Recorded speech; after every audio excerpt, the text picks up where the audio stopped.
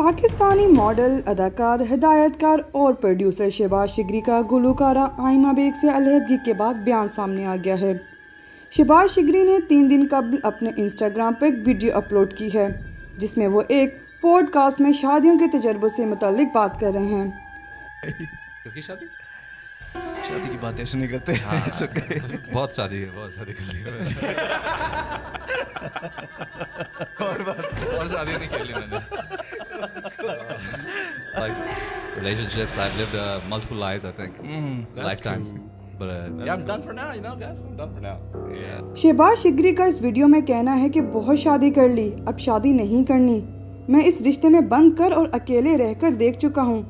हर तरह का वक्त देख लिया अब इससे मैं उकता चुका हूँ। वाजह रहे कि शहबाज शिगरी और आयमा बेग काफ़ी अरसे से एक दूसरे के साथ थे मगर अब इनके दरमियान अलहदगी हो गई है। जिसकी आयमा बेग ने सोशल मीडिया पर तस्दीक भी की थी।